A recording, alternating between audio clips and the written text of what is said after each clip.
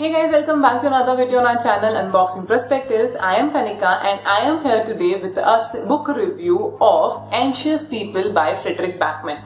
So uh, this is the book that we are going to talk about in today's video. But before that, if you have not yet subscribed to our channel, do click on the subscribe button as well as the bell icon so that you are notified with every new book that we are reading, with every new art form that we are exploring and with every new recommendation that we are coming up with.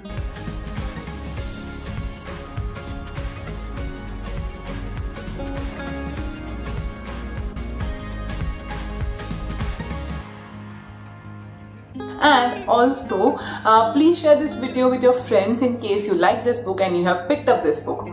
Talking about today's book, I have talked about it a lot in lot many videos and the book is quite popular nowadays that is the anxious people by frederick backman so this is a book that i was waiting to read for a long time and it was in my tbr since a year and i got the opportunity to read this one this year finally after his book the man called ove okay so that book the man called ove i have already reviewed it in various videos and i will give you the link to those videos in the description box below ये जो book है, ये एक ऐसी कहानी है जो एक बैंक रॉबरी गोन रॉन्ग की हम कहानी कह सकते हैं, या फिर एक ऐसे बैंक रॉबरी की जो कंप्लीट नहीं हो पाई। तो जब वो बैंक रॉबरी जब सक्सेसफुल नहीं होती है तो वो वहाँ से भाग के जाते हैं और एक फ्लैट में छुपने की कोशिश करते हैं। बट बिकॉज़ वो फ्लैट एक सेल पे था, वहाँ पे और भी बहुत सारे लोग थे जो उस फ्लैट को देखने आए थे। और वहाँ ऐसी सिचुएशन क्रिएट होती है कि वो एक हॉस्टेज ड्रामा बन जाता है, जहाँ पे आठ लोग एक फ्लैट में बंद है और उन सबकी एक बैकग्राउंड स्टोरी है। तो ये बुक आपको फ्लैश में उन सब स्टोरीज के बारे में थोड़ा थोड़ा बताते हैं और क्योंकि वो एक छोटा सा शहर है तो वहाँ पे लोग काफ़ी कनेक्टेड हैं और उनकी स्टोरीज कैसे साथ में आती हैं, वो चीज़ हमें इसमें देखने को मिलती है। तो ये कहानी है आपके पास उन आठ अलग अलग लोगों की, उन आठ अलग सिचुएशंस की जिसमें सबका एक अलग माइंडसेट है, जिसमें सबका एक अलग थॉट प्रोसेस है। वो अलग सिचुएशंस में कैसे रिएक्ट करते हैं और सेम सिचुएशन में कैसे रिएक्ट करते हैं, ऐसी चीज़ होगी जो इसमें बहुत अच्छे से आपको देखने को मिलेगी। ये एक ऐसी बुक है जहाँ पे आपको ना सिर्फ़ एंटरटेनमेंट मिल रहा है, वहाँ पे आपको हर तरह का इमोशन देखने को मिलेगा। You will love for this book you will cry in this book and you will find a various issues which are related to mental health and how they deal with it.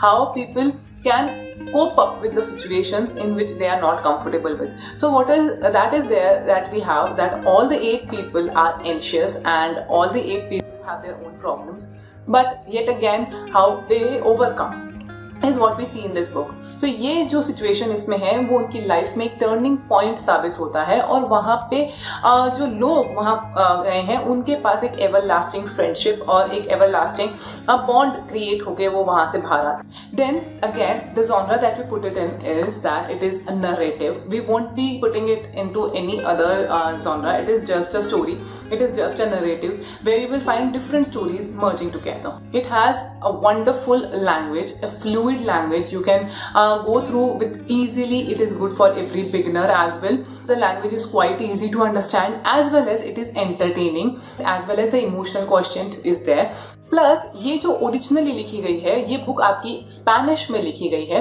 Spanish से इसका ये English translation है। तो आ, हमारे पास में ऐसा एक already एक वीडियो है जिसमें हमने ट्रांसलेटेड ऑथर्स की बात की थी जहाँ पे हम ये बात कर रहे थे कि किस तरीके से ऑथर्स जो दूसरी लैंग्वेज में बुक्स लिख रहे हैं उसको इंग्लिश में ट्रांसलेट किया जाता है ताकि वो यूनिवर्सली अवेलेबल हो सके। तो उस वीडियो में भी हमने इस बुक का मैंशन किया है इस ऑथर का मैंशन किया है। तो एंशियस पीपल के अलावा अ मैन कॉल्ड ओव करके जो इन्होंने बुक लिखी है फ्रेडरिक बैकमैन ने उसके बारे में भी हमने उसमें बात की है। तो मैं आपको उस वीडियो का लिंक ऊपर आई बटन में और नीचे डिस्क्रिप्शन बॉक्स में दे रही हूँ। डू चेक दैट आउट और मुझे बताना आपको, आपने उनमें से कोई और ऑथर्स भी पढ़ रखे हैं या नहीं। So talking about the translated authors इनकी जो लैंग्वेज है in spite of the fact वो स्पेनिश से इंग्लिश में ट्रांसलेट uh, की गई है काफ़ी स्मूथ है काफ़ी ईजी टू रीड है। तो so, अगर आप एक बिगनर हैं जो इंग्लिश बुक्स पढ़ना स्टार्ट करना चाह रहे हैं तो भी आपको ये काफ़ी स्मूथ और अच्छे से समझ में आएगी। इसमें आपको समझने में कोई इशूज़ नहीं आएँगे। हाँ फिर अगर हम बात करते हैं इसके मूवी अडेप्टेशन की तो वहाँ पे नेटफ्लिक्स पे आपको एक सीरीज़ मिलेगी। आठ, नौ एपिसोड्स हैं उस सीरीज़ में और वो सीरीज़ आपके इस बुक पे बेस्ड है। उन्होंने स्टोरी लाइन यहाँ से ली है बट उन्होंने कैरेक्टर्स के साथ में काफ़ी बदलाव किया है। वो किस तरह से सोच रहे हैं, वो किस सिचुएशंस में वहाँ पे आए हैं, ये सारी सिचुएशंस चेंज कर दी गई है। तो आप इस बुक को अगर पढ़ रहे हैं तो वो आपके लिए एकदम अलग एक्सपीरियंस है। बट अगर आप उस सीरीज़ को देख रहे हैं तो वो एंटायरली डिफरेंट एक्सपीरियंस है। आप इन दोनों को मिक्स नहीं कर पाएँगे बट हाँ उसकी स्टोरी लाइन इसी बुक से ली गई है और नाम भी एंशियस पीपल ही है। तो अगर आप नेटफ्लिक्स पे देखना चाहते हैं तो आप यहाँ, वहाँ पे भी इसे कैचअप कर सकते हैं। But this is a five star book आपको यहाँ पे एक बेहतरीन लैंग्वेज मिल जाएगी, बहुत सारा इमोशनल ड्रामा मिल जाएगा, अच्छी स्टोरी भी मिल जाएगी। और किस तरीके से आपको इसे लेके जाना है, हर चीज़ वहाँ पे आपको बहुत ही प्यारी प्यारी तरीके से दी गई है तो आप इस बुक को ज़रूर पढ़ें। और अगर आपने इसे खरीदा है तो आपको बिल्कुल रिग्रेट नहीं होगा।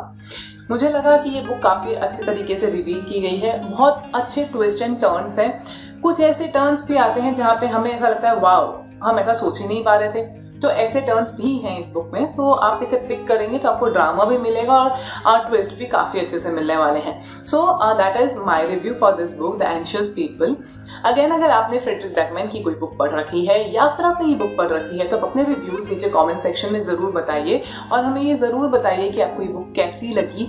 और अगर अब तक आपने पिक नहीं करी, इस वीडियो के बाद आपने इसे पढ़ा है और आपको ये पसंद आ रही है तो भी आप नीचे इसे ज़रूर बताइए कि आपको ये बुक कैसी लगी।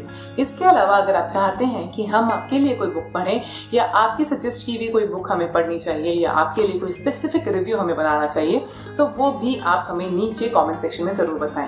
हमारे सोशल मीडिया के सारे हैंडल्स मैं आपको नीचे डिस्क्रिप्शन बॉक्स में लिंक्स दे रही हूँ उन्हें फॉलो करके आप हमारे साथ कॉन्स्टेंट टच में रह सकते हैं और डिफरेंट बुक डिस्कशंस में आप पार्टिसिपेट कर सकते हैं सो I will look forward for your response, your likes, your shares, your subscriptions and the comments below. And I will see you in the next video. Till then, keep commenting, keep reading and happy reading.